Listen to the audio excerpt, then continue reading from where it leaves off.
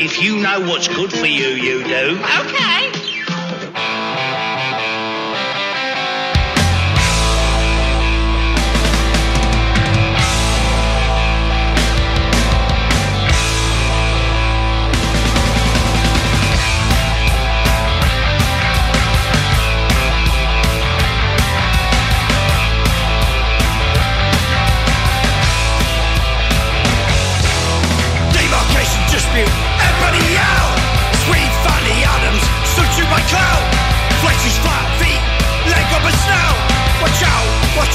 a hundred